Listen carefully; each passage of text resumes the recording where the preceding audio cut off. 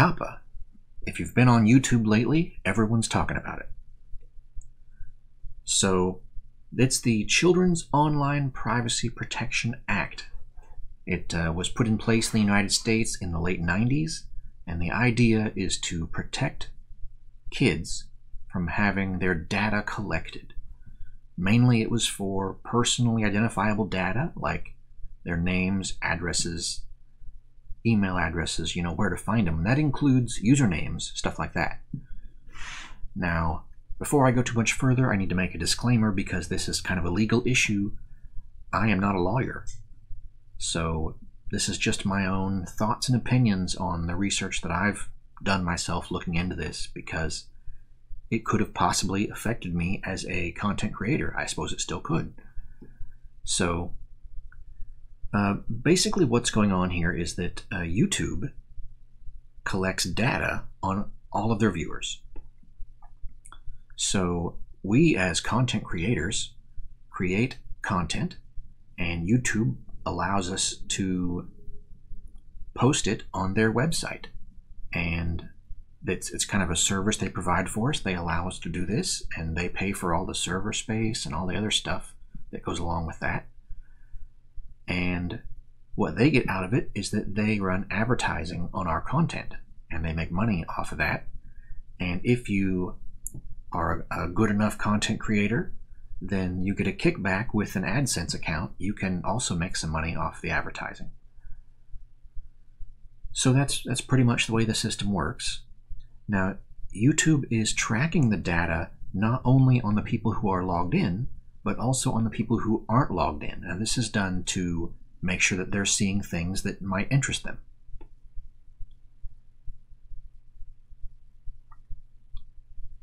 So, in order to have a YouTube account, you have to be 13 years old or older. Now, the reason for that is that the COPPA law protects kids 12 and under. So, the way YouTube is set up, supposedly all of the, the users who are logged in should be 13 and up. So, you would think that, you know, they're in the clear. But that's not quite the case because you don't have to be logged in or have an account to view YouTube videos. So, in order for the COPPA law to apply, the, the FTC has to show two things. They have to show, one, that the intended audience is kids. So content has to be directed at kids. And two, the uh, tracking, you know, data tracking of some kind has to be happening. Because it's just fine to, to direct content at kids. What's not fine is tracking their data. So that's pretty much what the law is about. Now, where YouTube comes in is it matters whether YouTube is aware that the data they're tracking belongs to kids. So if they if they weren't aware, then it doesn't really apply to them. So what happened is that the FTC was able to prove that YouTube was aware that they had a large audience of kids watching their videos. Now, we sort of assume that these kids are watching not logged in because they're under 13. So they shouldn't be uh, people with accounts. Now, of course, they could lie and they could they could get an account, but that's that's kind of another topic where YouTube has covered itself in in that regard. Like, you know, if if the kid lies, there's nothing you can do about it. Um, similarly, uh, someone could be watching uh, a kid could be watching a channel from their parents' account. In that case, they they sort of have their parents' permission. That's not good enough. It has to be a written, verifiable permission. So, you know, written email, something like that, um, in order to avoid the the COPPA law. So, basically, the FTC caught YouTube tracking data for kids, and YouTube knew about it. So that resulted in a a big case, and it was ended with a settlement. It wasn't actually a fine. So, in order for it to have been a fine, the FTC would have had to prove that the content creators were intentionally directing their content at kids. They would have had to, you know, select which ones were doing that, and then those content creators probably would have gotten fines along with YouTube. But uh, YouTube settled this, and they paid the the big settlement fee.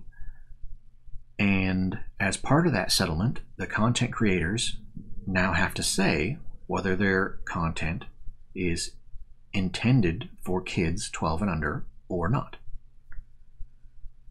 And that's caused a big stir with all the content creators because they're concerned about what this could mean for their channel.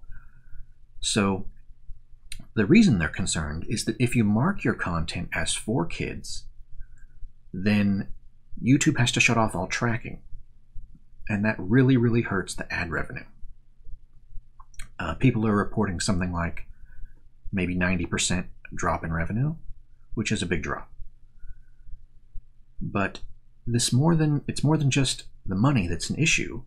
It's also things like turning off comments, and that's because you know usernames and comments is trackable data. It also shuts off um, a variety of other things like uh, the ability to put your videos in playlists, or some people are saying the ability for people to even find your videos like you won't be recommended to people because of this data tracking loss. So it can hit content creators pretty hard, even if they're not monetized. It, it also would prevent you from being monetized in the future if you were making kids content. Now, that's monetized as far as targeted advertising goes. Now, a context based advertising should still be allowed, but YouTube isn't currently set up for that. So maybe at some point in the future, all of the the kids content could have kids ads, not targeted, just generally focused at kids. So you know that's something maybe YouTube could set up in the future, but it's not set up right now, and uh, maybe it won't be. Who knows? That's up to YouTube. But for now, we have to deal with the first step is identifying which content is for kids and which content isn't intended specifically for kids. And so I think I'm going to pull up a video, or not a video, a picture next. And that's going to be my analytics from my channel. Here we go. Uh, I don't think there's anything on here that, that you guys shouldn't see. It's just, uh, just a chart here. So this shows that on my channel, um, half of my audience is 25 to 34 years, and most of the other half is 35 to 44 years. A small amount is 18 to 24, and an even smaller amount is 45 to 54. So that's um, more or less centered around my own age. I, I obviously, my content appeals to people of a similar age to me. Um, just That's just what I talk about here. Now, You'll notice there's not a section on this chart for people below 13 years of age. That's not tracked. And also, as I mentioned, there's no way to know whether um, any of these 35 uh, year olds are perhaps giving their phone to their kids and having them watch my channel. Like, I don't think that's very likely because I don't think my content would interest them, but this doesn't really track that, is, is the point. And that's why we have uh, this next image, which says YouTube Analytics is not designed to help determine if your content is child directed. You should use the factors outlined by the FTC to set your audience. So that's that's pretty much what that says. The, the analytics isn't sufficient proof that your content isn't intended for kids. Uh, that's because you could possibly be making kids content and not be having kids watch it. Like, just because you're unsuccessful doesn't mean you're not targeting kids. So, you know, that's that's kind of the way that works. It's it's probably accurate. Like I think the analytics is pretty accurate, but it's not legally binding accurate. Um, what else? Uh, so this this channel is mainly about uh, Magic the Gathering, at least right now. And later on, it's going to be about some muscle cars and things like that. So that's even less kid oriented. But we'll take uh, Magic for example. Magic, right here it says age 13 and up. Magic the Gathering. This is a newer box. The older boxes, of course, are people that are older are more interested in them because they were around back when those sets were new. So this is sort of a nostalgia channel uh, and just a general information channel. You know, sometimes new players want to know this stuff too, but still, you know, 13 and up. Now, does that mean that I'm safe? No, not necessarily. So just because that magic is intended for 13 years and up doesn't mean that I can't make content that's directed for younger kids if I wanted to. That's not what I'm doing, but someone could be doing that. So I can't say that all magic channels are safe. That's not the case um, let's say you wanted to make a, a video series that was focused on teaching kids 12 and under how to play magic. Well, that's that's very obviously directed at ch- children, uh, children, kids. So uh, that would be a no-no if you're tracking data. I'm sure there's other ways to do it. Like maybe if uh, if Wizards of the Coast made an animated series that was targeted at, at younger kids, then that could be kids content that's that's magic themed and they might do something like that in an effort to get kids interested in buying the product once they do reach this older age. So you know there's some examples of things that could happen but but i think most magic content is going to be focused at people 13 and up. And so we shouldn't have to worry too much but you still have to be careful. Now there uh, there are a lot of YouTube channels that are still going to be affected by this. If if they're doing anything with with a toy that indicates on its package that it's for younger kids, you know, 12 and under, that's dangerous. It's, it's not guaranteed to be kids' content, but it's higher risk. Um, especially if they have you know, kids on their channel opening the boxes or something like that. Or if they have, you know, songs or animated characters, things that, that kids gravitate towards. So you can be kids' content, you just can't track data. So the FTC has to prove those two things in order to fine you. Now, now COPPA is a, a national law here in the U.S., so it applies everywhere. This isn't just a YouTube thing. Now, any idea of leaving YouTube for another platform, like that doesn't help. COPPA is still a law if you're in the US. Now, if you're not in the US and you're on YouTube, then COPPA can still affect you because YouTube is based in the US and you're putting your videos on YouTube. And also because if you get fined for breaking this law, now you may not be able to be fined if you're in another country, but YouTube can be fined for collecting the data. They're assisting you in this in this effort to collect the data. So if YouTube gets fined because of your content, then they can shut down your channel and delete it. And so, even if you're international, this affects you.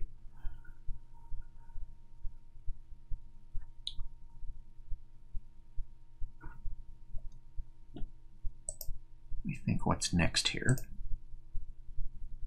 Okay, so here's some guidelines on what uh, how FTC determines whether content is child directed or not. Um, I'll just I'll just leave those up there for you to read. Feel free to pause the video. I'm not going to read them all to you. You can read on your own.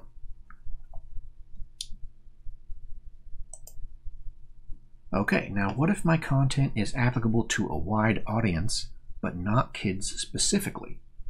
Now that's very important because just having a kid in your video isn't sufficient to be labeled as kids content legally. So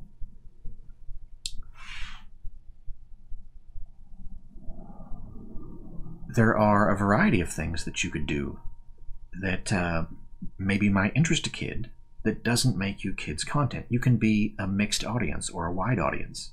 Like you can have adult directed content that is kids safe, like, you know, maybe you don't have a lot of cuss words or X rated themes, but even though it's kids safe, that doesn't mean it's directed at kids.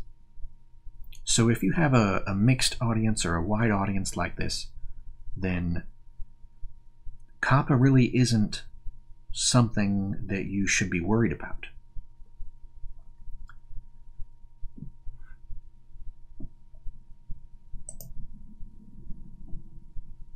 Okay, so YouTube has given us these two options for how to label our videos, and we're, we're required to label them. So the options are for kids, and that pretty much gets you demonetized, I mean, more or less. And it's pretty harmful for your channel as far as getting views, um, no comments, stuff like that. It's, it's pretty rough. For kids, that's, uh, that's a rough, rough way to go but it shuts off tracking. And the other way to go is not for kids. Now, I don't think that means only adult content. I think that means anything that's not directed at kids. So it, it should include the wider audience, mixed audience category. It's not for kids.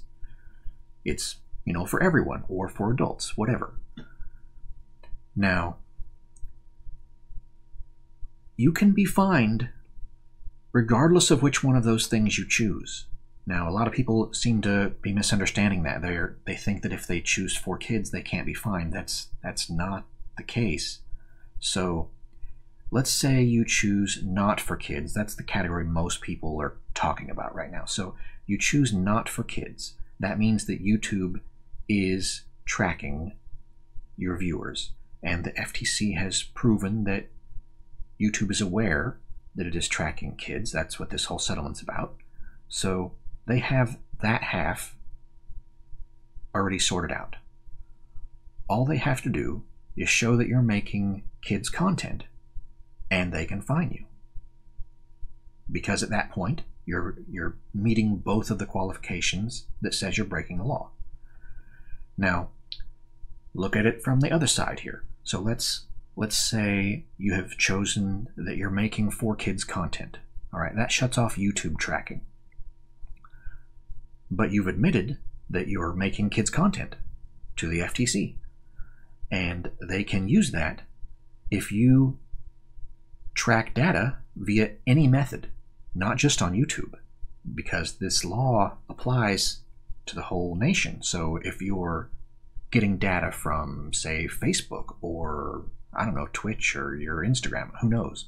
So that's pretty rough. Um, so if you were making content and you have labeled yourself as for kids, and you're getting comments with with usernames, um, that's that's pretty bad for you. You can be fined technically, right? So it's dangerous either way you go. Now, the point of this is that neither of those solutions, for kids or not for kids, fixes the problem. What fixes the problem is not breaking the law. And the law says don't track kids if you're making kids content. That, that's pretty much it. So you need to be honest when you're labeling your channel. If you are making for kids content, then you need to label your channel as for kids. And if you're not making for kids content, you probably shouldn't label your content as for kids because if it's not for kids, that probably puts you at greater risk. Um, now, part of the reason for that is that if you have self labeled yourself as being for kids, directed at kids, then because they're not allowed to track data on which part of your audience is kids or not kids, they have to assume that all of your audience is kids. So if you're making uh, mixed audience videos and you you say that they're for kids, then now all of a sudden the FTC has to assume that all of your viewers are kids. And if they catch you tracking data anywhere, postcards, whatever, then they can fine you. Now, will they fine you? That's a whole other question. They're, let's say they're focused on getting the most for their money. Um, it costs a lot of money to run an investigation, and you know they're probably not going to catch the small people. They're going to go after the big fish, and that's one of the reasons they went after YouTube. So YouTube has a lot of data available, and uh, that's probably, I guess, an easy hunting ground for them to catch people. Um, I wouldn't be surprised if they went after some other big uh, service providers. Uh, for example, what about Disney Plus? Like, Disney Plus is like, there's going to be a lot of kids on there, right? So, boy, I hope they've got their ducks in a row. Um, what else? Let's see if I have another picture here. Ah, here we go. Yeah. So if you're if you're not for kids content, then you should be pretty all right because if you're if you're honestly not for kids, if you're not making content that's directed at kids, then the law doesn't apply to you. Now, saying that you're not making content for kids doesn't actually protect you. You have to actually not be making content for kids. Like just because you you can't just say that you're not making kids content and then make a children's animated show.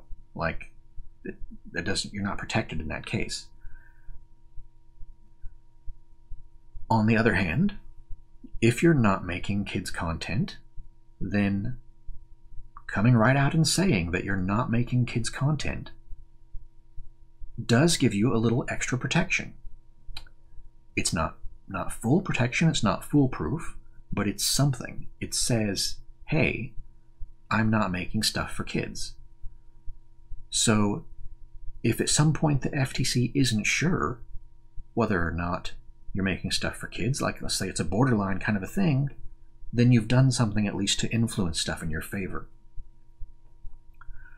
Um, on that same uh, line of thought, if you're really not sure what to do here and you don't think that you're for kids content, but you're you're worried about being fined anyway. Something you might want to consider is the age restriction uh, setting on YouTube. So here's the here's the picture for that. So here we go. Uh, you can see here it says uh, audience, yes, it's made for kids, or no, it's not made for kids. And below that here, we have the age restriction setting. Now this is in the YouTube Creator Studio in the videos section where you edit your video info. So uh, age restriction, you can restrict your video to an adult audience. So uh, you can choose Yes, restrict my video to viewers over 18. Now this makes the videos uh, not be monetized, so you know it's still not good for your channel. It comes with most of the same penalties as choosing for kids, except that it doesn't put you at the same risk as having admitted you're making kids content. Because if you've admitted that you're making kids content, then you're subject to the COPPA law and you need to you know, abide by that or get fined. So this is going the opposite direction. This is saying that you're not making kids content and you're so sure that you're not making it that your your videos are actually directed not even to people of 13 and up, but only to people of 18 and up. So you've taken steps to keep your video content away from kids, as opposed to just putting it out there for anyone to watch. So again, that's another kind of a defense tactic. So uh, what this does is it makes it so the your videos are not visible to users who are logged out. So only people with YouTube accounts can view your videos. And those people should be, according to the YouTube Terms of Service, 13 and up. However, in order to view your videos that are age restricted, they actually have to be logged in and 18 and up. Um, additionally, restricted mode has to be turned off. Uh, if you're not familiar with restricted mode, it's kind of like a parental control. So uh, someone could turn restricted mode on and then, you know, let their kid use the computer or whatever, and then the kid wouldn't be able to view the 18 and up content. So, um, I think that's pretty much it. Um, the fines that they've been throwing out for numbers are like $42,000 or something like that. Keep in mind that's a maximum fine. Um, it's not going to be that full amount every time. Probably very rarely would it ever be the maximum amount. Uh, data that I've seen says that uh, previous fines were something like $2.5 per kid affected. Now, if you're marked as for kids and they're assuming that all of your viewers are four or all of your viewers are kids, that could add up to a lot still. But you know, keep that in mind. They they consider your own income and you know whether it would put you out of business or not when they're calculating this this fine amount. So uh, how would they how would they even prove that your viewers were under 13 years old? I'm not sure. It, it won't be on the analytics data. So I guess YouTube would have to tell them somehow? I don't know. YouTube must know because YouTube announced that they knew in their marketing. So, hmm. I think that's about it for this video. Um, like, be careful out there. I'm going to stick around on YouTube with my channel because I am pretty confident that my content is not directed towards children. Um, everyone has to make their own judgment call on that. Catch you later.